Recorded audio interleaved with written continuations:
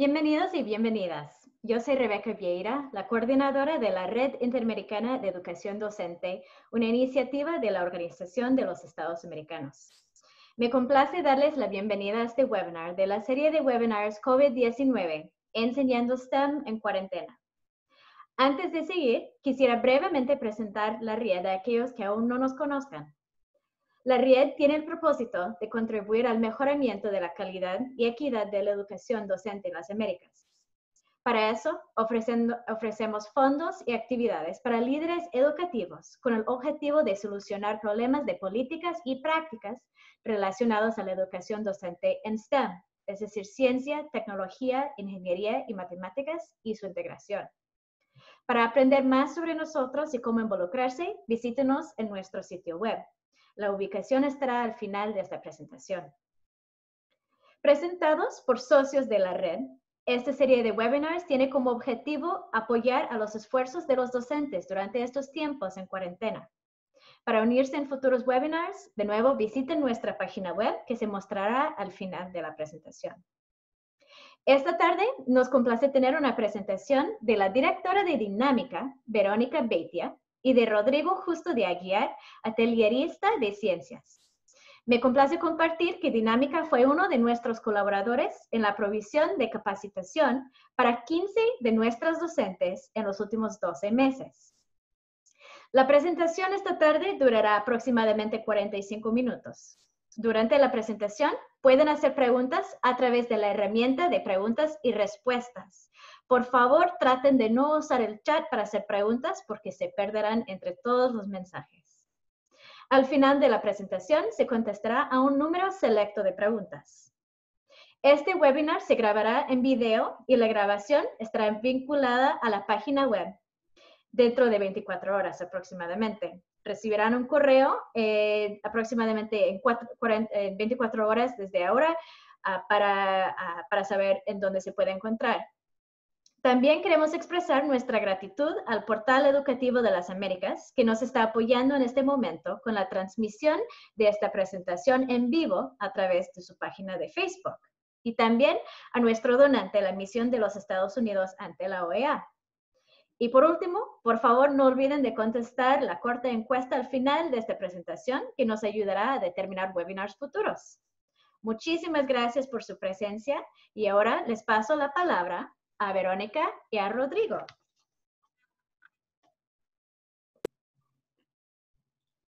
Hola Rebeca, buenas tardes, muchísimas gracias por esta invitación.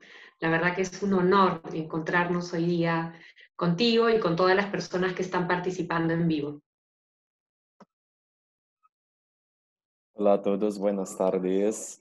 Gracias por la invitación. Saludo a todos. Es un gusto estar presente con ustedes en esa en ese webinar de hoy? Eh, la tecnología puede ser usada para promover las relaciones y el juego con los niños y las niñas.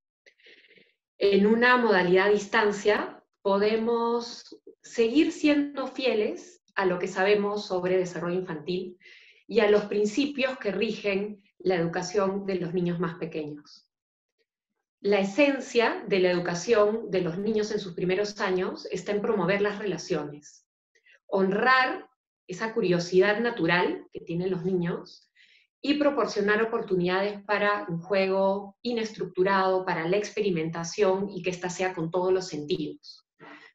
La educación a distancia, mediada por la tecnología, puede ayudarnos en esta dirección y es lo que vamos a ver hoy día a través de varios ejemplos. Vamos a ver cómo el uso de dispositivos digitales tiene efectos positivos si es que promueve la interacción entre los niños y el acceso a contenidos de alta calidad. En esta conferencia nos vamos a centrar en el concepto de interacción aplicado a los entornos virtuales en el nivel inicial y primaria baja. Y vamos a responder junto con Rodrigo a tres preguntas. Uno, ¿Por qué es necesaria la interacción en la educación a distancia para el nivel inicial? Esa va a ser nuestra primera pregunta. La segunda es, ¿qué podemos hacer para favorecer el aprendizaje y desarrollo de los niños ahora que están aprendiendo en casa? y cuáles son las diferencias esenciales entre la interacción presencial y la remota. Todo esto nos va a ayudar a crear mejores experiencias de aprendizaje para nuestros alumnos.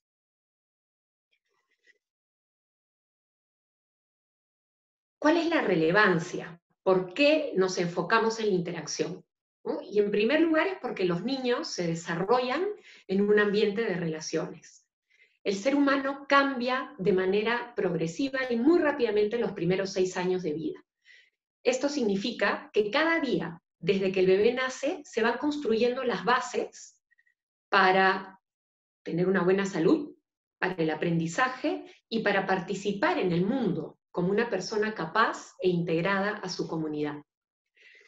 Y este desarrollo en los primeros años es algo muy concreto y ocurre en gran parte en el cuerpo, en el cerebro, a través de conexiones neuronales. Les pediría que imaginemos el cerebro como una construcción donde el niño y la niña van a ir poniendo piezas poco a poco cada día, hasta armar un edificio sólido y grande. Tenemos ya 80 años de investigaciones sobre desarrollo infantil temprano que nos permiten entender cuál es el elemento clave para que esto ocurra. Y es la interacción con las personas que el niño tiene a su alrededor. E, este intercambio es un comportamiento básico para el desarrollo del niño y el desarrollo de su cerebro. ¿A qué me refiero con interacción? Estos intercambios de ida y vuelta y especialmente efectivos son los que llamamos responsivos, es decir, donde el adulto responde a una iniciativa del niño. Nos referimos a aquellas interacciones que son de ida y vuelta, estos intercambios donde el adulto responde a una señal que da el niño y continúan en este dar y recibir. Por ejemplo, si nos ponemos en el caso de un bebé, cuando el bebé hace un sonido, y la mamá responde mirándolo a los ojos y sonriendo, se pone un ladrillo en la construcción del cerebro, es decir, se hacen conexiones. Cuando el niño mira un objeto, la mamá se da cuenta de qué es lo que le interesa, le dice el nombre de ese objeto, se pone otro ladrillo. Cuando el niño hace un sonido y papá repite ese sonido y le sigue la conversación, se va poniendo otro ladrillo en la construcción del cerebro. Y estas conexiones no ocurren por sí solas. Se requiere una riqueza de experiencias, además de la interacción con el adulto y con otros niños, en la vida cotidiana, en casa, en el parque, en el vecindario, en la escuela. Hoy día que las escuelas están cerradas, es vital que los niños tengan a su alrededor personas que estén atentas y se mantengan sensibles, porque podrán reconocer las señales que los niños les dan van a poder conectarse con sus iniciativas y darles continuidad. Entonces los maestros necesitamos asegurarnos que eso se siga dando en casa y a través de la educación remota. La calidad que tengan estas interacciones permitirá al niño sentirse seguro y desarrollar sus habilidades cognitivas, sociales y emocionales. Y en esta relación, ambas personas, tanto el niño como el adulto, son activos construyen la relación. Y los beneficios de esta cercanía también son para ambos. Es una respuesta y un enriquecimiento mutuo, tanto para el niño como para el adulto. El desarrollo de los niños no se detiene durante la crisis que estamos viviendo. Acompañarlo no requiere grandes inversiones de, tiempo ni de dinero, sino intercambiar ideas con los niños, jugar con ellos, con ellas, responder a sus iniciativas, conversar en los momentos normales de la vida cotidiana. Eh, cuando nos lavamos las manos, cuando estamos comiendo juntos, cuando estamos observando los objetos que hay a nuestro alrededor, cuando compartimos un juego. Ahora me gustaría cederle la palabra unos minutos a Rodrigo para que él nos muestre eh, con un ejemplo muy concreto de un aula cómo podemos observar esas relaciones en los niños que están a nuestro alrededor.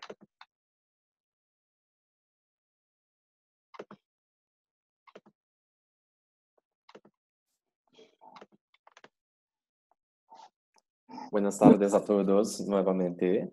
Eh, les quería contar un poco acerca de algunos ejemplos que nos ayudan a entender lo que nos acaba de contar Verónica, acerca de, de cómo esas relaciones se pueden ser, pueden ser construidas desde la virtualidad, ¿no? Y de cómo hay una necesidad por detrás eh, eh, de estas investigaciones que llevamos, donde los niños expresan esa necesidad de socializarse, ¿no? Es un fragmento, por ejemplo, de una investigación de pre-kinder, la edad de los niños promedio cuatro años, y ellos, ah, cuando empiezan la cuarentena, nosotros les preguntamos un poco acerca de lo que piensan, ¿no? ¿Qué, qué es que están sintiendo ahora que están más tiempo en la casa? ¿Cómo es que funciona todo esto, no? Entonces ellos nos cuentan un poco. ¿Cuándo vamos a volver al colegio? Nos preguntan. Yo lo único que extraño es ir al colegio. Quisiera que se vaya este tonto coronavirus. Yo extraño estar todos juntos en mi colegio. En mi colegio, el mejor colegio el lugar en mi patio y mis amigos y mis maestras. Es una, una cita que nos trae Julia, ¿no? Nosotros como maestros analizamos esa necesidad que los niños tienen de socializar, ¿no? ¿Qué necesitan en ese momento de verdad? ¿Qué nos están diciendo? ¿Qué, qué es de verdad lo que quieren? Lo que quieren estar juntos. Es construir esa puente, ¿no? Es esa, eh, eh, construir esa relación que es tan importante en esos primeros momentos de la vida, ¿no? Y por esto, nosotros como maestros tomamos la decisión de, eh, de generar una investigación acerca de cómo construimos la amistad, de cómo nos damos a conocer cuando no estamos presentes físicamente, ¿no? A partir de ese momento, lo primero que le preguntamos a los niños es justamente, ¿cómo es esto? ¿Cómo es que nos damos a conocer? ¿Cómo es que funciona todo ese proceso? Y ellos nos cuentan, ¿no? Primero de todo, lo que hay que hacer es presentarnos, es hablar de nuestros gustos, de lo que me gusta hacer, de lo que me gusta jugar. Entonces, alguien, por ejemplo, nos, nos habla, ¿no? A mí me gusta jugar con los peluches y jugar con mi hermano y a las peleas. Yo juego con mis lobos, no cuenta Farah. Y alguien ha dicho, también me gusta el hombre araña. En ese momento de la investigación, lo que ellos nos están diciendo es un poco de cómo se presentan, de cómo pueden hablar de los gustos acerca de ellos para que se dé a conocer a la otra persona desde la virtualidad. Eso hace con que la dinámica del grupo, sea mucho más fluida, que las conexiones a través de, de las videoconferencias se den y de que ellos puedan construir desde ahí temas de interés común donde las relaciones se pueden dar. Es un obstáculo que ellos superan porque aún son muy chiquititos, pero ellos, a la su manera de presentarse y hablar de sus gustos, ayudan a que esa dinámica se dé. Y se dé de una manera tranquila, de una manera amable y divertida, porque conocer al otro también es un proceso divertido. Y son puentes que ellos además crían a través de la empatía. ¿no? A la vez, lo que nosotros preguntamos a ellos para seguir investigando es una investigación que eh, empieza hace un mes y, eh, poquito, ¿no? Entonces es una investigación que está en la parte inicial. Y en ese momento, entonces, nosotros lo que preguntamos a ellos es, entonces, ¿cómo nos hacemos amigos? ¿no? Y en varias sesiones los niños han ido ahondando acerca de esos gustos, intereses y preferencias con el propósito de darse a conocer. Pero ellos también nos agregan, ¿no? Tenemos que nos presentar, tenemos que contar quién somos. Entonces, primero, Nicolás nos dice, les dices cómo te llamas, ¿no? Y después, mira tú y dices cómo te llamas tú.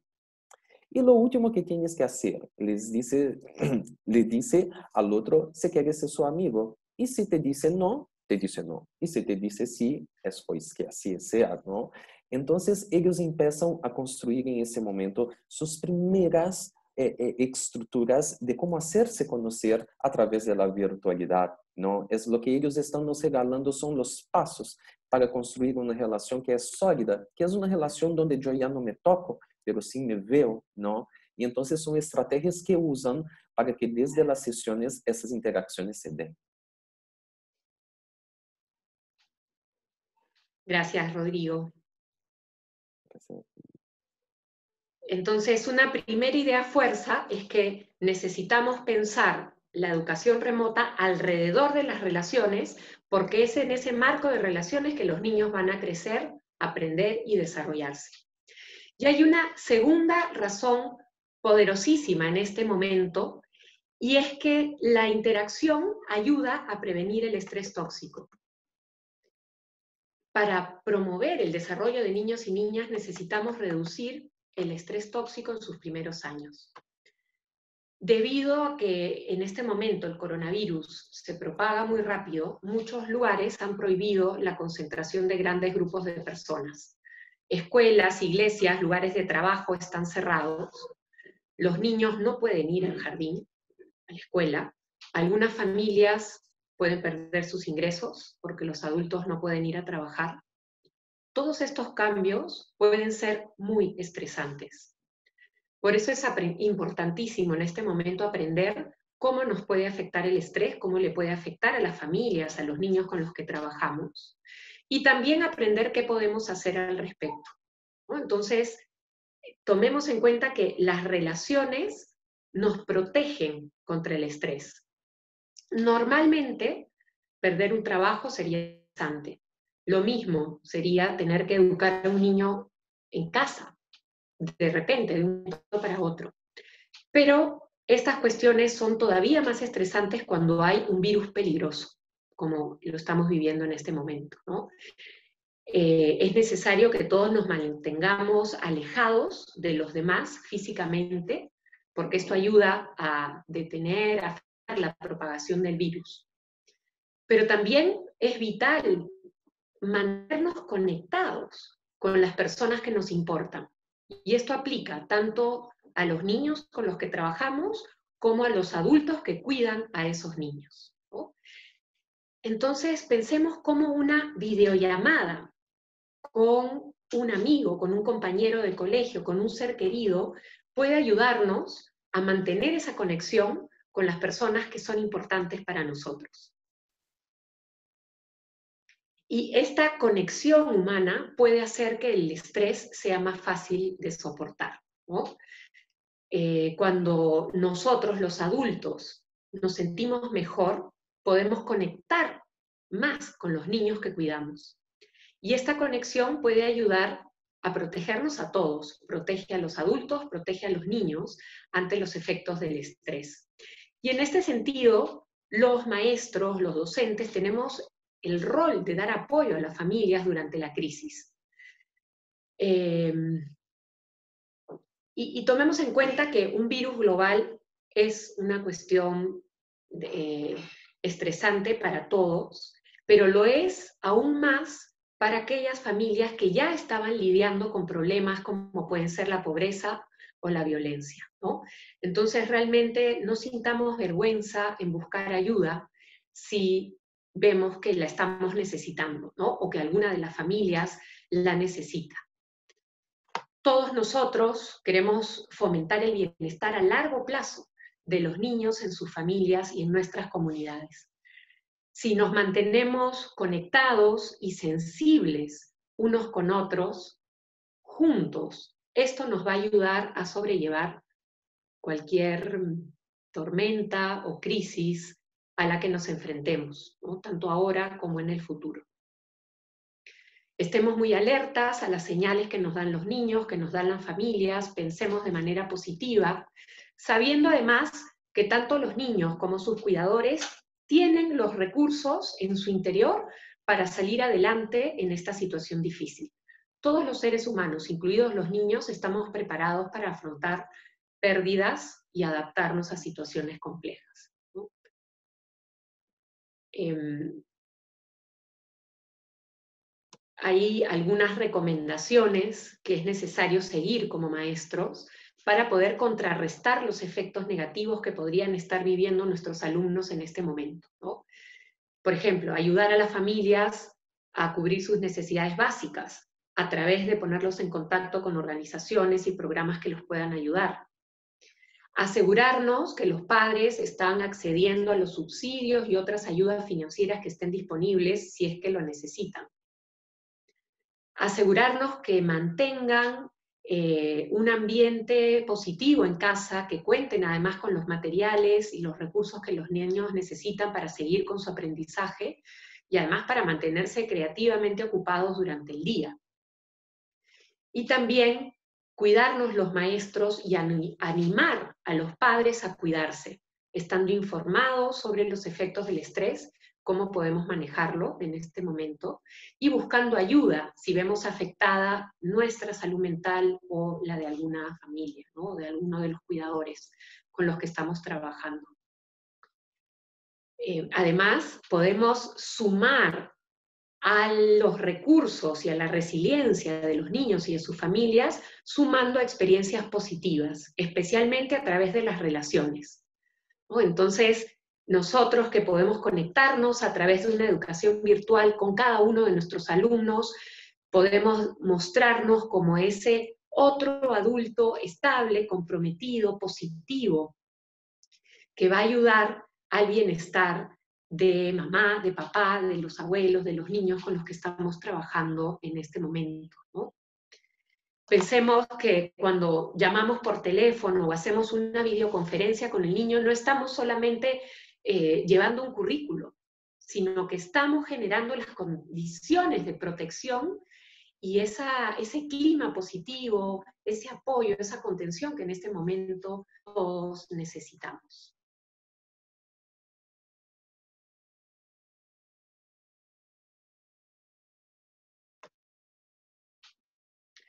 Me gustaría mm, darle pie a Rodrigo, porque ha seleccionado una pequeña historia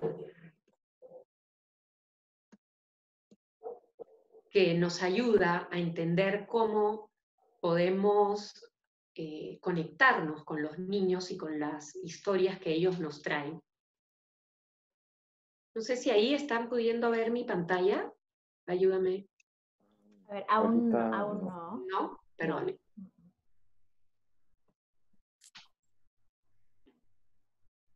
Ya, muchas gracias.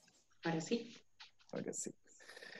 Eh, yo quería contarles un poco acerca de esa otra investigación. Es una investigación que lleva un primer grado de primaria e é uma investigação bem interessante porque creio que desde a situação que vivimos hoje, de estarmos aislados em la casa, é a capacidade de também estarmos sensíveis a nosso entorno, não? A possibilidade de estar em la casa e poder mirar eh, eh, ao redor, creio que nos ajuda também a, a, a entender essas relações que se dão, não? Por exemplo, eh, esse grupo em especial é um grupo apaixonado por la natureza e investigavam sobre os seres vivos de uma maneira general. Pero ah, com o passar do tempo, em el tempo que estão em la casa, começam a verificar que há alguns seres vivos que los visitam. Então, que chamam, não, que dá esse nome à investigação como os visitantes, não? E eles começam a observar todas essas características dessas desses seres vivos que estão chegando hacia aí. Nós creemos que era pertinente dar eh, a, cabida a esse tema porque os niños nos traem essas perguntas e nos contam, não, mira, é que eu também he visto um visitante cerca de, la, de minha casa e então esse é o tema que ajuda com que eles se conectem. Não? Por exemplo, Sarita, que é uma das linhas que nos traz essa ideia principal de los visitantes, habla do princípio de que ela observava um azulejo, pero que esse azulejo já não la visitava mais porque han venido los hombres y han cortado el árbol que el azulejo estaba. E aí não havia mais visitante. Pero que a la vez, ela também ha tenido a oportunidade de observar as ardilhas e aí nos conta uma série de las características que essa ardilha tem. O grupo se entusiasma com, com o que conta Sarita, se emocionam e o que fazem é também começar a buscar outros visitantes em sua casa. Además, o colégio também se involucra nessa búsqueda, não? E ao saberem que existe um salão que está investigando os visitantes da quarentena, nossa coordenadora de atelier também, ao emocionar-se com a proposta, nos envia um vídeo, envia um vídeo ao grupo de niños para ensinar-lhes um pouco acerca de, de esses visitantes que estão em sua casa e lhes conta, mira, escute seu canto, mira como são esses visitantes, o que vocês pensam sobre eles, não? e os niños empiezan a hablar. Creemos que esse visitante vem a buscar comida, pero mejor. Eu creio que esse visitante está curioso sobre o que passa acá. pero es Zoe que nos trae una, una cita clave en la investigación, que es justamente cuando ella habla. Yo creo que ese visitante era un pajarito, pero yo creo que él estaba buscando un hogar. Y Brianna, a, a, a, apoyándose de la idea de Zoe, complementa, ¿no? Yo creo que ellos, pájaros, están hablando, yo quiero estar con una familia, o que ellos estaban perdidos.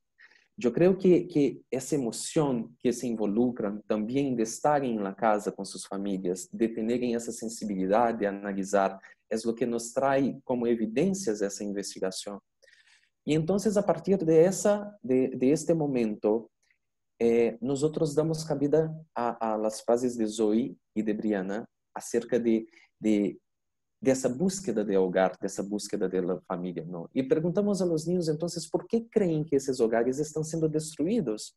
Y ellos nos traen varios motivos, de entre ellos un principal, que es la acción del hombre, el impacto que el hombre eh, eh, ejerce sobre el medio ambiente, que genera essa destruição, não a contaminação. E então começam a trazer temas sobre a contaminação e a poluição, que é o que impacta, o que hace com que esses, esses visitantes percam seu hogar. Además, lo, lo interesante que ellos nos cuentan a, apesar de isso, são as propostas, porque não se quedam solamente em falar desse impacto, eles se hacen sensíveis, reflexionam acerca desse tema. E o hecho de que estão em la casa los ajuda um montão a ver como esses impactos, como deixar de sair, hace com que esses animais estejam circulando mais por las calles. E o que eles propõem é que os hábitats que foram destruídos agora deem lugar a a refugios. Entonces, lo que estos niños empiezan a hacer, el grupo de niños, es hacer una propuesta acerca de una construcción de refugios que pueden ayudar a que esos visitantes puedan estar ahí un tiempo, pero no de manera permanente, porque ellos, además de todo, respetan la libertad, lo derecho de ir y venir de estos visitantes. Creo que cuando ellos nos traen algunas citas y nos cuentan un poco sobre el derecho de ir, ir y venir, tiene mucho que ver también con lo que ellos ya no pueden salir con tanta facilidad. Entonces ellos reflejan esto un poco acerca de ese estudio de estos visitantes, del respeto por la libertad y un poco sobre el respeto que tienen que tener acerca de, de ese impacto que estaba siendo causado.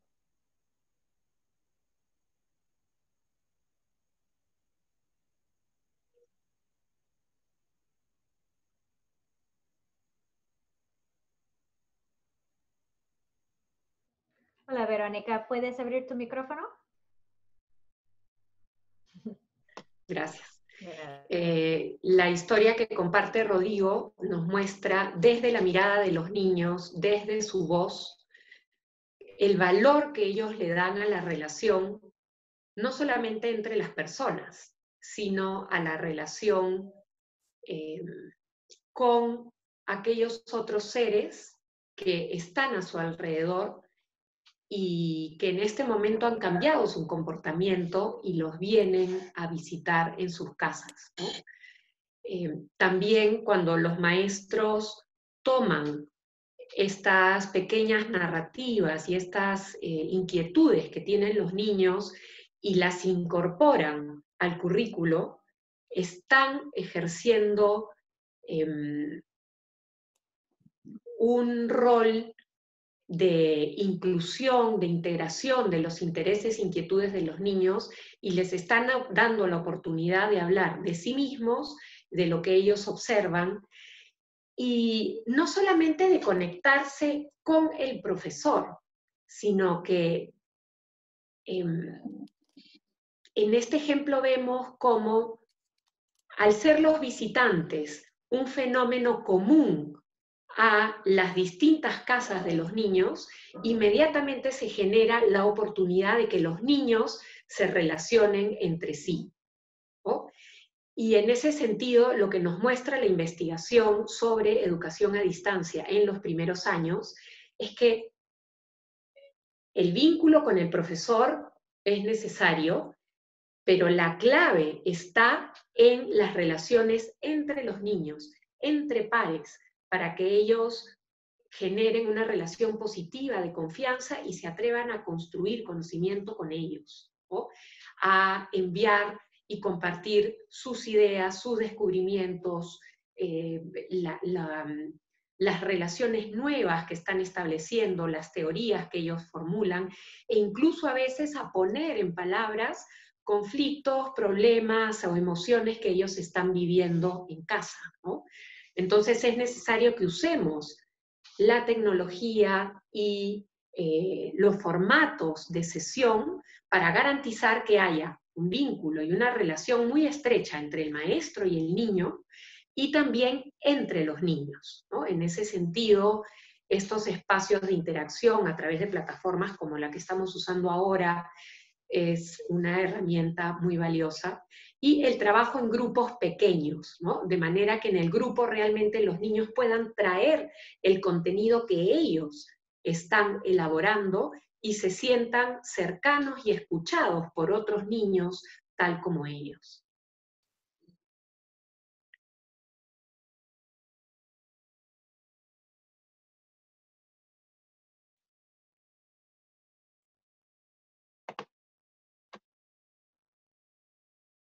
Voy a, mm, a compartir un segundito otro ejemplo para ver no solamente cómo los niños establecen relaciones entre sí que tienen un componente emocional y también eh, intelectual, sino además cómo los padres empiezan a tener un rol fundamental en este establecimiento de relaciones.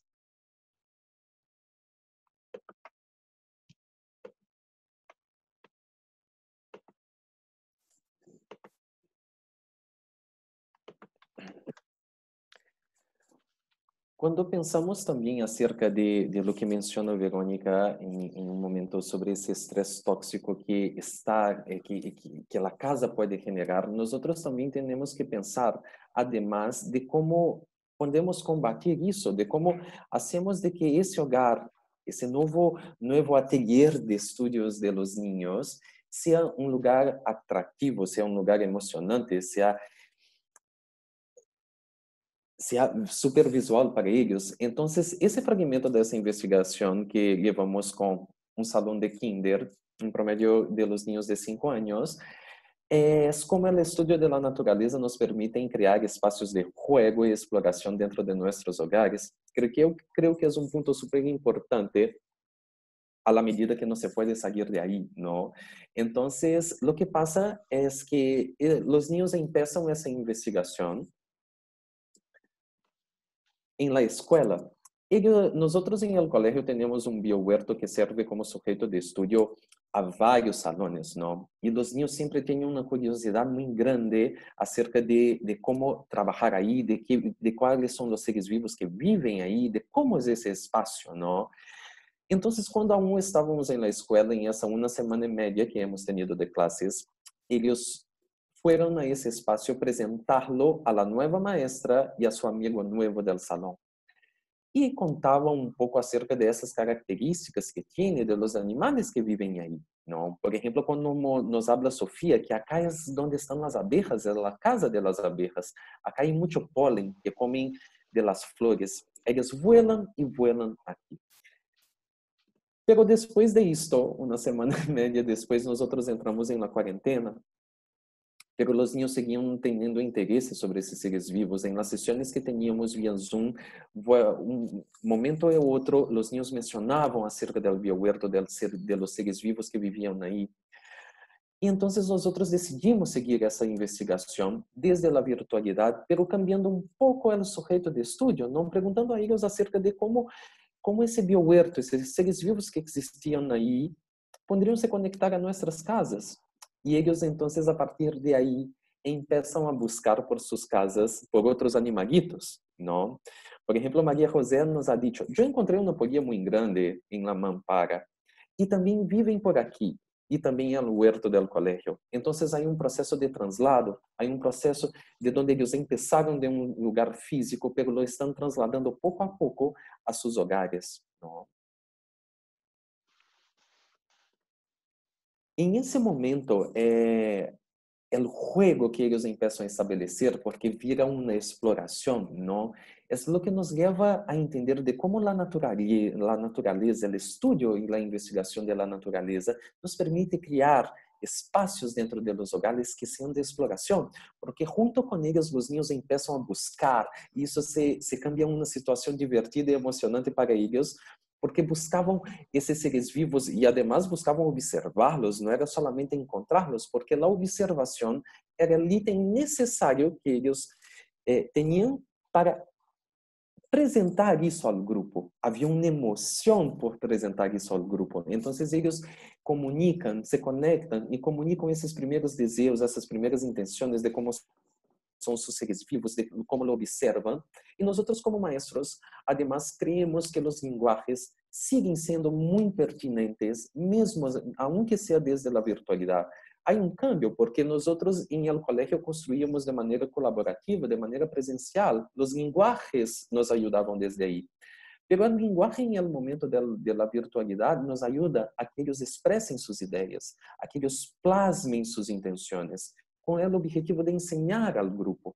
Por exemplo, aí vemos uma foto de Cristóvão e Cristóvão se assombra, se assombra por la representação que havia hecho Maria José, que era uma aranha, em lo qual em esse momento ela nos contava acerca dessa aranha, de como ela havia visto, de como ela havia representado.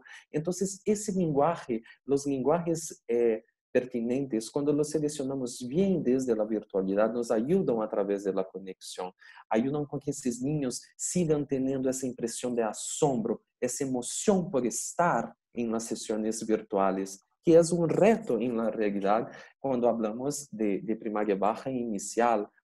Es un reto cuando pensamos en cómo mantener, de cómo sostener esa emoción de los niños cuando no se pueden tocar, ¿no? Entonces, creo que el uso de ese instrumento es sumamente importante y, y, y es un, un, punto súper pertinente que también tenemos que tomar en consideración. Empezamos a ver entonces cómo eh, hay algunos elementos que nos ayudan a que los niños puedan establecer esta conexión entre ellos, ¿no? En ese sentido, la selección eh, del sujeto de estudio, que sea algo que ellos tienen en casa, la posibilidad de explorar el espacio físico, sensorial y, a través del movimiento en sus hogares los conecta también, el uso de distintos lenguajes que eh, pueden después mostrar y compartir a sus compañeros lo, eh, como una una ayuda a memoria de la exploración que tal vez han hecho de manera personal e individual en su casa, ¿no? Está plasmada, expresada a través de una representación que puede ser compartida a través de la pantalla. Y en ese sentido, el papel de los adultos que están en casa es fundamental porque ayudan a los niños a recolectar los materiales que van a necesitar, a en, las primeras etapas a tomar fotografías, subir esas fotografías a una plataforma o mandarlas por un chat para que sus compañeros las puedan ver. Hay un rol ahí de colaboración entre el maestro que planifica y el padre que está en casa acompañando, que es fundamental, ¿no? Entonces pensemos que nuestros planes, nuestras propuestas incluyan esta relación del niño con el maestro, de los niños entre sí, a través de múltiples lenguajes, y con participación de los padres como aliados y colaboradores. Eh, tenemos este rol mediador de los padres también en la organización de las distintas evidencias del portafolio que eh, de, estas ideas que los niños tienen en casa, de las fotografías, de las representaciones que ellos crean, del registro de los descubrimientos que los niños han hecho en casa para después traerlos al colectivo, ¿no? Y los padres, no como los que tienen que cumplir con la tarea, sino realmente como compañeros en esta aventura de descubrir y aprender. Creo que acá, Rodrigo, tú tienes un video que expresa de una manera muy clara esta idea, ¿no? No sé si tú quieres compartirlo desde tu computadora para que lo podamos ver y escuchar mejor. Sí, eh, eh, lo comparto de acá, pero... Sí.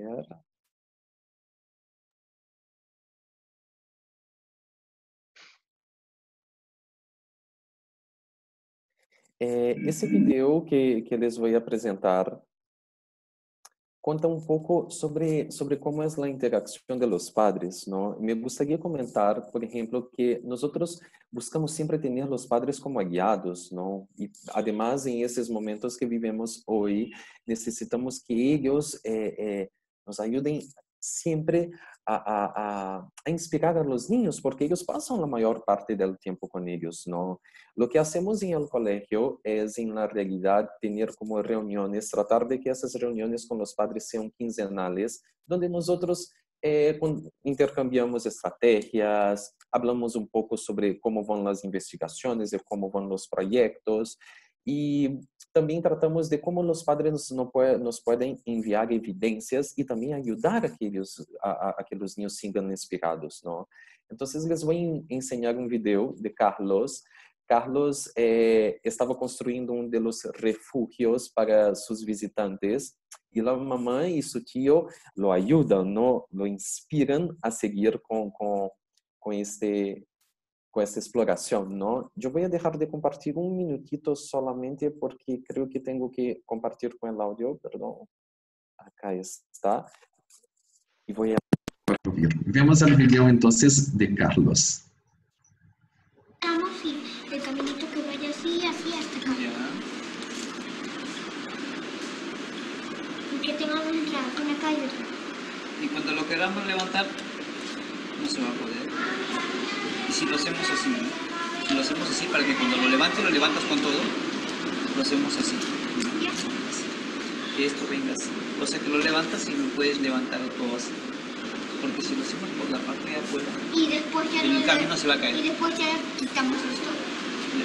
No es que esto va a quedar pegado ahí. Las hormigas. Esa es tu casa que tú diseñaste. Ya. A ver, explícanos, Carlitos. Por acá puse el pan igual que acá. El pasto, la tierra y las plantitas por acá. Sí, hay muchas hormigas por ahí. ¿Y esto qué es? ¿Qué quiere decir esto? Que también lo veo que está en tu hoja. Su madriguera. Por aquí caminan. Hormiguero. Ah, esos hormigueros. Espera. vemos que hay hormigas, efectivamente. Muchas, muchas están viniendo a tu casa, Carlitos. A ver, enséñame tu foto de tu diseño.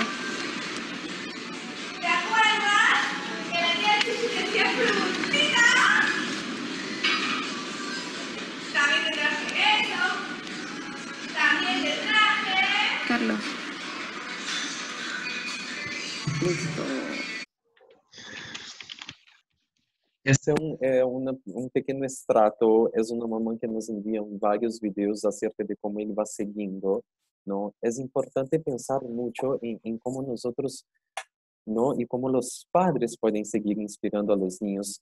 Que nos ensina Carlitos, por exemplo, é um primeiro boceto de lo que vai ser seu refúgio, não? Ou seja, eles vão, eles começam de um dibujo em el papel, lançam esse primeiro boceto à tridimensionalidade e logo depois vão replanteando melhoras pouco a pouco. Não? Esse fragmento é da parte inicial e mostra também como é o compromisso das famílias com a aprendizagem dos niños, não? de como eles são nossos guiados. À la direita, por exemplo, vemos um diário de Brianna, que também é um diário de registro de seus visitantes, e de como sua família também además de tomar las fotos y nos enviar esas fotos, también la ayuda a ordenar, la ayuda con ese proceso de la escritura, ¿no? Porque Briana también que se empieza a escribir. Entonces, todos esos aportes que, que, que la nos, eh, eh nos puede prestar como, como aliados en esa construcción, ¿no? Es parte de la virtualidad que vivimos hoy. Rodrigo, es vamos a entrar a la tercera y última parte de esta presentación, que es muy breve. Em, y lo que hemos podido constatar en estos meses es que la interacción es distinta a través de las plataformas virtuales, tiene ciertas características, ¿no? Y que además están categorizadas en la investigación científica también. Em, ¿Qué es lo primero que notamos? Como la experiencia que estamos teniendo en este momento, ¿no? O sea, el audio es lo que prima, ¿no? Es una relación muy verbal, muy oral, donde la sensorialidad y el cuerpo ha perdido su relevancia, ¿no? Donde además la imagen, cuando aparece, la imagen de las personas nos genera emociones a veces muy fuertes. ¿no? Nos ha pasado mucho con los niños, sobre todo los más pequeños, en los primeros encuentros, que al ver la cara, la foto de su profesora, de sus compañeros, entran en llanto, porque la presencia del rostro en la plataforma les recuerda que no está físicamente el otro ahí, entonces, aprender a manejar esta nueva distancia requiere tiempo, requiere una contención en particular. Lo otro que pasa en el mundo de la comunicación, en la interacción a través de plataformas virtuales, es que la cantidad de señales que normalmente los niños tienen en la interacción presencial, que le ayudan a comprender el contexto y a comprender el contenido y los fenómenos que se están estudiando, se reduce muchísimo.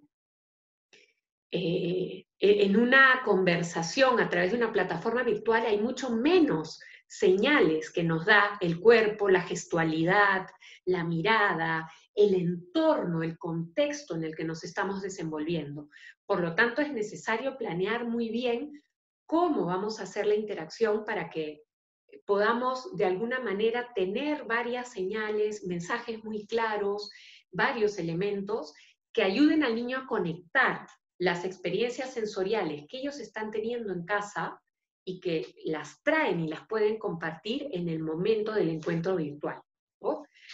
Em, vamos a, a, ver una, una historia que a mí me ha parecido muy, muy poderosa eh, que Rodrigo va a compartir ahora con nosotros, donde vamos a ver el viaje que hace una de las niñas de este grupo en el, sé, en su eh, crecimiento y, relación con sus compañeros y relación también con las plataformas y las herramientas virtuales. É, esse fragmento que, que nos ha contado Verônica, esse, esse fragmento da investigação é bem interessante e, e a mim me põe a pensar em vários quesitos de por que me parece super interessante. O primeiro é de como é um grupo que necessita uma multissensorialidade, também o sujeito de estudo que nós elegimos, que é o sembrado de, de plantas, les permite ter esse sujeito de estudo bem cerca de eles que é um juego aí entre a virtualidade e, la, e, e, e tener como um sujeito de estudo palpável, não? Eles sembram essas plantas, observam esse crescimento, porque têm um interesse em entender como a planta se desenvolve. E uma das perguntas que eles nos traem acerca de, de esse crescimento é justamente como é o caminho da água por la planta.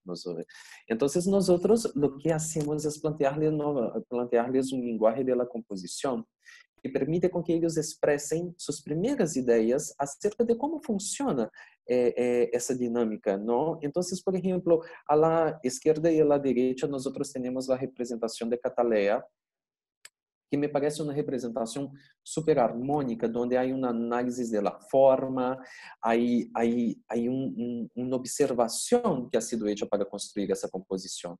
E además, Cataleia nos conta um pouco acerca de sua primeira hipótese de como a planta absorve a água, não? Empieza por la tierra, vai à raiz e de la raiz sube por el tallo hasta las hojas, não são essas primeiras hipóteses.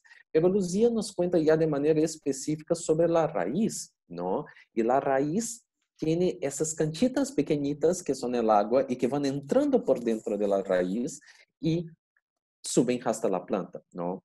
Dentro de esa investigación y dentro de esas primeras hipótesis, hay, hay una historia de una de las niñas del salón que es una historia bien interesante porque no todos se conectan automáticamente con, con el Zoom, con, con la virtualidad, justamente porque muchos de ellos necesitan el movimiento, eh, muchos de ellos necesitan eh, el contacto y son cosas que ya no, no, no son tan posibles desde la conexión eh, con la virtualidad, con las videoconferencias.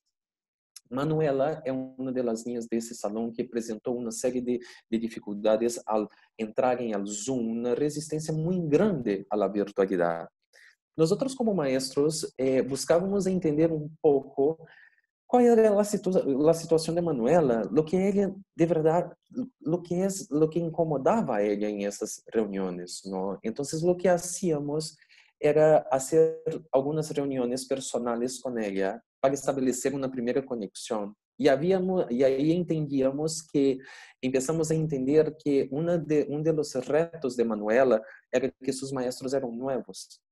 É ela conhecia o grupo, pero não conhecia também os maestros e ela necessitava essa primeira conexão com os maestros para adequar-se melhor à virtualidade a reuniões de Zoom. E justamente eh, essas reuniões reuniones com Manuela e com sua família, essas primeiras conexões se foram dando, não? Manuela pouco a pouco começou a entrar las videoconferências e começou a participar, pero aún se seguia muito resistente porque aún não se adequava completamente à virtualidade.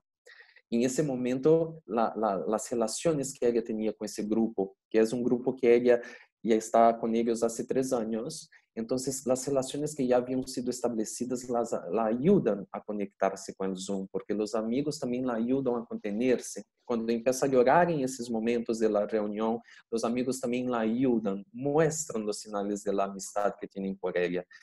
Y poco a poco, Manuela va entrando en esas reuniones. Pero ese fragmento que les voy a enseñar ahora justamente muestra el momento que Manuela dá sua primeira participação na reunião e que assume seu processo de autonomia, de sua construção de autonomia e justamente participa, não? Que tem que ver com o caminho del agua por la planta.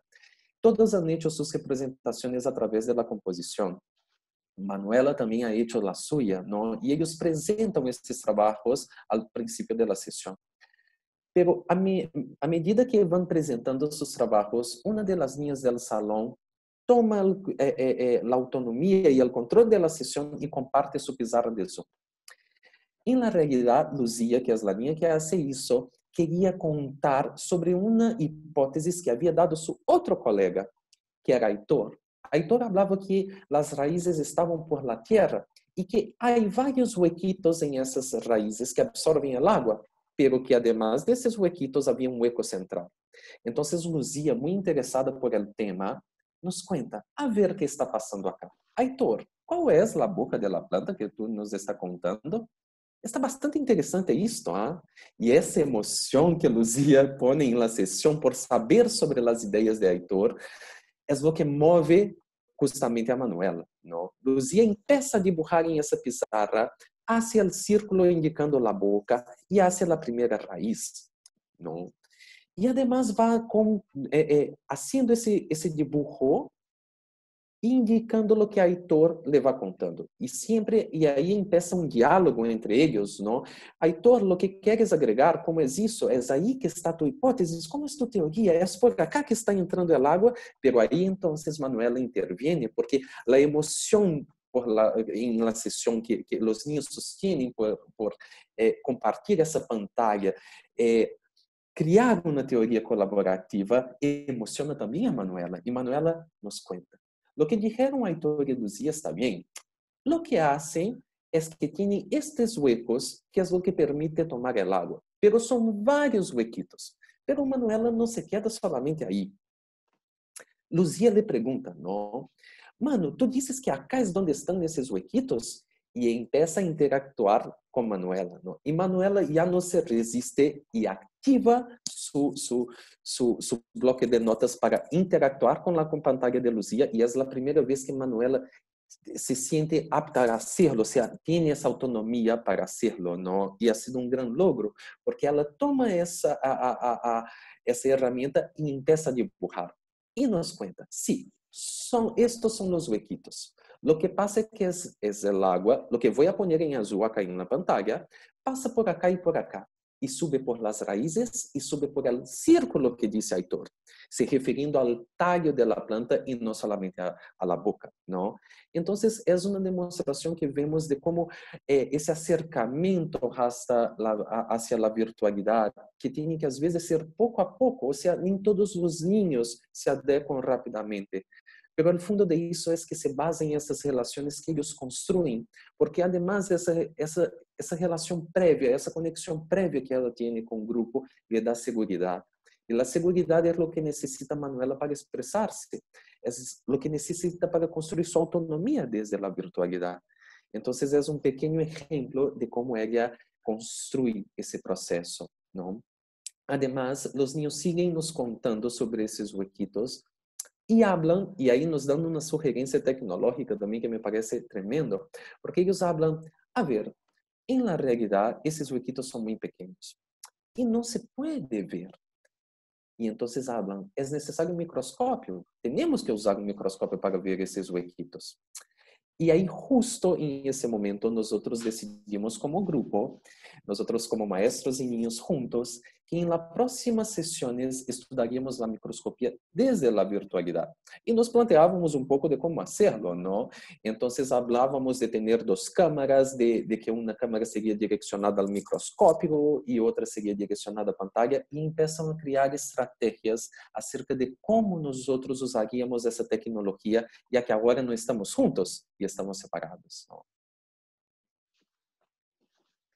Muchas gracias, Rodrigo. Estas historias son realmente emocionantes y nos muestran eh, con, con evidencias, con ejemplos concretos de cómo el crecimiento intelectual de los niños va totalmente de la mano con su conexión emocional y que es posible que se dé porque hay un equipo de maestros que realmente tiene el foco puesto en las relaciones, ¿no? que son el medio, el canal, el, el, el mecanismo que tenemos los seres humanos para construir conocimiento tanto de manera individual como colectiva. Así que mm, esto era lo que teníamos para compartir. Muchísimas, muchísimas gracias a todas las personas que han estado escuchándonos. Eh, Rebeca, ¿tenemos algunos minutitos adicionales para responder algunas de las preguntas? Por seguro. Bueno, bueno, en primer lugar, muchísimas gracias a ustedes dos por compartirnos tan valiosa información. Bueno, tenemos unas preguntas acerca de el rol de la socialización y pues dos preguntas relacionadas. La primera que veo es Rosa Yanith Ruiz Aparicio, dice, ¿cómo podríamos hacer para que la relación alumno-alumna no se pierda? Que sienten que aunque a distancia, a la distancia, pueden ayudarse mutuamente. Y también tenemos otra pregunta de Marta Mendoza, si la interacción social es fundamental en el desarrollo de los niños, ¿cómo les puede afectar esta falta de interacción entre pares? Ahí eh, hemos visto en estos ejemplos algunas ideas concretas, pero hay muchas más, ¿no? Que van a depender de la edad que tengan los niños. Y esto es algo que se puede construir desde muy pequeñitos. Tenemos casos de mamás que tienen bebés y es perfectamente posible establecer un vínculo con esa mamá a través de un canal virtual. El bebé puede estar echado, jugando en su espacio de juego, y la profesora y otras mamás están conectadas por el teléfono y están conversando sobre lo que ellas observan que los bebés hacen. Tenemos niños de dos años que recorren la casa con el celular y le van mostrando a su profesora y a sus compañeros los espacios de juego, sus lugares favoritos de la casa, los descubrimientos que han hecho, sus escondites. Eh, es realmente si tenemos la intención, el propósito de construir las relaciones, que vamos a encontrar cómo las distintas herramientas se adaptan a eso, ¿no? Y no necesitamos grandes soportes tecnológicos. Muchas veces tenemos maestras que lo están logrando a través de mensajes de texto, ¿no? Y ya el solo hecho de saber que al otro lado tienes una persona que se interesa por ti, que realmente está em, comprometido con tu proceso de crecimiento y con tu bienestar, hace que ese, ese vínculo empiece a fortalecerse, ¿no? Incluso hemos visto cómo se construye con niños a los que los maestros no conocían antes, pero sí tomando en cuenta que es un proceso, un camino, una ruta, y donde la mediación que hacen los padres es fundamental. Bueno, a ver, tenemos siempre una pregunta acerca de ah, problemas con el acceso al Internet. Entonces, Valeria Camacho está preguntando en general cómo ayudar a los niños que no tienen acceso. Y también Ivonne Andrade uh, pregunta, es, ¿qué sucede si en un grupo de, por ejemplo, 40 niños solo tienen conexión 12? Si llamo e interactúo con los 12, es posible que los otros niños se sienten aislados. Entonces, ¿qué se debe hacer en este caso? Em, me, gustaría contar de la experiencia que tenemos en la red de escuelas de, Transforma y otras instituciones aliadas a Dinámica, em, donde este es el momento en que necesitamos flexibilidad. Y además de poner el concepto de equidad al centro de nuestro trabajo. Sabemos que hay problemas de conectividad y que hay enormes diferencias entre una familia y otra y el acceso de un niño y otro. Pero pensemos que no estamos solos en esto. Hemos encontrado profesoras que se han apoyado en organizaciones vecinales, otros que se han apoyado en algunos familiares del niño que sí tienen acceso a Internet, otros que han creado junto con las comunidades espacios donde llegan los recursos y llegan las familias para recoger esos recursos. Soluciones de muy baja tecnología como el envío de mensajes de texto y materiales. Otros profesores que están tomando e imprimiendo los recursos y mandándolos a través de organizaciones sociales a las casas. realmente este es el momento de apoyarnos en la comunidad y eh, resolver y utilizar los recursos que tenemos al alcance. Es el momento de pensar de manera creativa y conectada. Y, lo otro es que es el momento realmente de, ya desde el punto de vista de las políticas, ¿no? Necesitamos que todos los niños que nacen en el Perú y en los países de nuestra región tengan acceso a Internet. Tendría que venir con el paquete, ¿no? Realmente veamos qué hacemos en los próximos años para garantizar así como estamos buscando que haya agua potable, que haya servicio de Internet, porque es lo que va a ayudar a las familias a cerrar las brechas. Bueno, no sé si Rodrigo también tiene un comentario o nada más para checar. Bien. Ok, tenemos otras, tenemos dos preguntas relacionadas a familias. La primera viene de Carmen Karina Hurtado Toral que dice, trabajo con niños y niñas de 4 a 5 años. ¿Cómo motivar a las familias para que sientan la importancia de ayudar en casa con el desarrollo de las experiencias de aprendizaje? ¿Y cómo saber si las familias están realmente ayudando a los niños y, y niñas en este proceso? Y la segunda pregunta relacionada viene de Marta Cecilia Amador Palma, que dice cómo llegar a los padres de familia para que su participación interactiva en el desarrollo cognitivo y emocional de sus niños se vuelva enriquecedora. Eh, yo pienso que fundamental en ese proceso eh, de construcción de alianzas con los padres son las reuniones que tenemos con ellos Eh, em vários momentos do dia estamos como tendo reuniões personais com alguns com algumas famílias em específico e además temos como quinzenalmente uma reunião com todo o salão. Creio que esse contato, seja através de uma reunião, de uma videoconferência ou uma chamada, nos ajuda também a entender as angústias que essas famílias passam, a situação de cada uma dessas famílias e a intercambiar com eles estratégias que puedan ajudar a esse ninho específico ou ao grupo como todo, Desde que começamos as reuniões com as famílias, eu sinto que eles estão muito, mais cercanos a nós ou seja, e, justamente eh, construir esse processo de desenvolvimento emocional com seu filho através de estratégias que vamos intercambiando. Então, eles também nos contam como é a situação, nos contam como estão as coisas. Ah, há alguns ninhos que, que que se adaptam muito bem à, quarentena, outros não, não. Então, como nós vamos a, a, tratar estratégias específicas para cada um desses ninhos, não? Então, creio que esse contato, seja através de videoconferências, seja através de, de, de chamadas, é fundamental para termos más cercanos a nosotros, ¿no?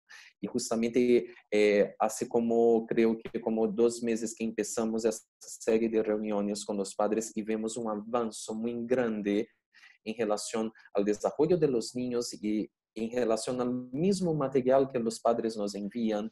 Então, há uma parceria muito mais sólida, há uma conexão entre as, as famílias e o colégio muito mais forte. Então, eu creio que é fundamental, fundamental estar sempre em contato com eles, seja de maneira individual para tratar um caso específico, ou seja de maneira coletiva para ver como é a dinâmica do mesmo salão. Não creio que é importante as duas modalidades de reunião com os padres. Muy bien, muchas gracias. Ok, a ver, también tenemos varias preguntas acerca de necesidades especiales. Una pregunta viene de María Laura ah, Cornejo Castillo de cómo trabajar con niños, por ejemplo, con déficit de atención, si normalmente de forma presencial les cuesta concentrarse. Y también vi una pregunta de Janet cómo actúo con niños que tienen necesidades educativas especiales. Entonces, esa, bien, adelante. ¿Tú quisieras decir algo, Rodrigo? Eh, uma das estratégias que nós usamos é, em el material, nós generamos como materiais de aprendizagem que são enviados às famílias através da aula, da plataforma virtual que temos. Ah, para os niños que têm necessidades especiais de aprendizagem, esse material é adaptado por los maestros e por el equipo del psicopedagógico e é enviado diretamente a essa família, já com as adaptações hechas para cada caso, não, eh, de niños, ou seja, de, de acordo com sua necessidade. Eh, com relação à hiperatividade, eu creio que depende muito de, de, niño. Há niños que Uh, ayer justo hablaba un poco eso con Verónica. Hay niños que necesitan movimentarse mucho durante las sesiones y yo creo que nosotros no tenemos que privarlos de esto. Es además un derecho de él, ¿no? Además, cuando hablamos de, de pre-kinder kinder, es una de las necesidades de esta edad. Entonces, eh, a veces eh, temos casos de algum niño, como é o exemplo de Manuela. Manuela cuenta suas teorias muitas vezes quando está parada e movendo-se muito em la câmara. Pero temos que também ser flexíveis e entender que é seu processo e que não é que ela não esteja atenta. Às vezes nós outros pensamos que ela não esteja atenta, por exemplo, pero ela está se comunicando, nos está contando, pero ela necessita movimentar-se. Ela tem essa necessidade em especial. Então, eu creio que nós outros temos que ser é, é, compreensíveis de que os niños não necessariamente têm que estar sentados todo o tempo para que estejam atentos ao processo que estão vivendo desde a virtualidade. Então, sinto que, que, parte como o exemplo do movimento é necessário a eles, não? Eh, nós também oferecemos a eles vários talleres eh, que les permitem gastar um pouco dessa energia, ou seja, botar um pouco dessa energia como talleres de circo, não? De, de, de música, talleres de, de, motri- de motricidad, ¿no? de psicomotricidad. Entonces creo que eso también nos ayuda en ese proceso de contención en esos casos de hiperactividad, ¿no? Ahora, eh, en casos de que los niños no logren conectarse de ninguna manera, lo que hacemos muchas veces es generar reuniones personales con ellos y ver cómo desde ahí criamos estrategias para que ele vá ingresando al grupo poco a poco. Muchas veces nosotros necesitamos entender primero esas necesidades particulares de este niño, lo que es lo que lo va a ayudar a conectar, qué es lo que va a ayudar a que ele esté presente eh, eh, en esos momentos. Y desde ahí, cuando nosotros trazamos esas estrategias, también trazamos una estrategia de ir incluyendo, incluyéndolo poco a poco al grupo.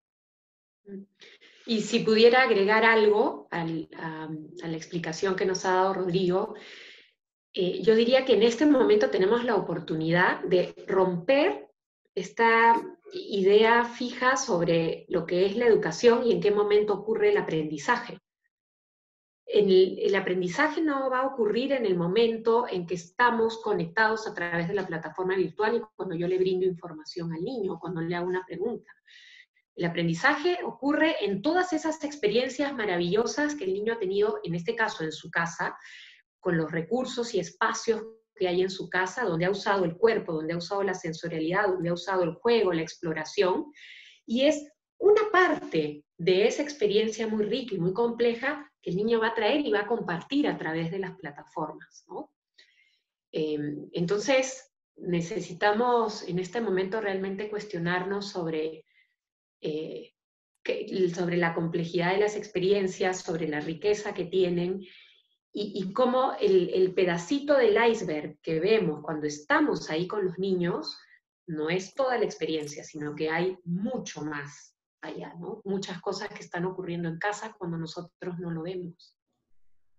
Muy bien, muchas gracias. Yo creo que tenemos tiempo para una última pregunta, o más bien son dos preguntas. Am, tenemos una de Mari Jiménez que pregunta, ¿influirá de alguna manera en el desarrollo intelectual la carencia del uso de medios cibernéticos en su desarrollo emocional? Y también otra pregunta de Priscila López sobre el tiempo estimado que se recomienda para una clase virtual a niños a nivel inicial. Sí, e- ese, mm, gracias por las preguntas, Rebeca. Por investigaciones sabemos que hay, em, necesitamos poner límites al uso de dispositivos tecnológicos, sobre todo en los primeros años, ¿no? Entonces, dependiendo de la edad, hay recomendaciones muy puntuales. Antes del año, nada. Hasta los tres años, máximo una hora. Después puede eso subir a dos horas. Entonces, realmente necesitamos ser cuidadosos. Ahora, todos esos límites y parámetros se están flexibilizando en este momento por justamente la condición de cuarentena que estamos viviendo. ¿no? Una distinción que me parece necesario hacer es que una cosa es el consumo de productos a través de pantallas, como puede ser mirar videos en YouTube. Y otra cosa muy distinta es encontrarme con mis amigos para jugar a través de una pantalla. ¿no? Entonces, más que pensar en el tiempo transcurrido, pensemos en la calidad de experiencias y cuánto de sí está pudiendo poner el niño en la construcción de la relación con el otro. Muy bien. Bueno, con eso yo creo que ya deberíamos de concluir. Voy a compartir mi última pantalla, si me permiten un momentito. Y les recuerdo a todos que por favor ah, no se olviden de completar la encuesta, nos ayuda de verdad. Y pues por último, les quiero agradecer a Verónica y a Rodrigo por su inversión eh, de tiempo, porque en verdad se nota por las preguntas que hay muchas necesidades en, en la circunstancia donde nos encontramos bajo cuarentena y de verdad apreciamos lo que, lo que nos están apor- aportando en este momento. No sé si quieren compartir algunas últimas palabras de inspiración o sugerencias para, para nuestros colegas que están aquí. Por mi parte, solamente agradecerles y recordar que en este momento tenemos un rol fundamental en proteger a los niños. Creo que nuestro rol se ha ampliado y necesitamos estar muy alertas a no solo a las necesidades que las familias y los niños puedan tener en este momento para conectarlos con los distintos recursos de ayuda que puede haber, sino también a los recursos y a toda la creatividad y compromiso que tienen las familias y que ellas mismas son las que están trayendo soluciones. Me gustaría agradecerles por la oportunidad de estar acá hoy y, y justo lo que ha dicho Verónica, ¿no? Eh, creo que, que tenemos que proteger a la infancia ¿no? en esta situación que vivimos hoy.